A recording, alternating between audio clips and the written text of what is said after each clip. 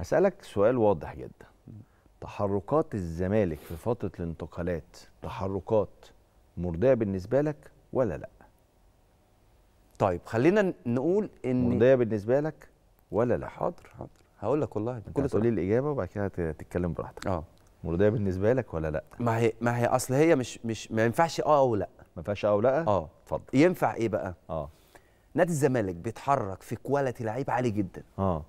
الدورة ال- ال- ال- transfer ده. امم بيتكلم على آرون بوبيندزا مم. ومضاه وأمن نفسه ورقيا ومستنديا قبليه كان كريم البركاوي والصفقة باظت والجمهور حزن جدا. بيتكلم على بنتايج بيتكلم على أسماء كتيرة كويسة.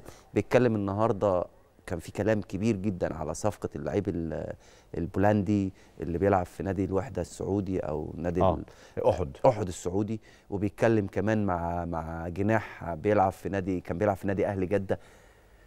مشكلة نادي الزمالك يا كريم في الصفقات السنة دي نقطة واحدة بس. مم.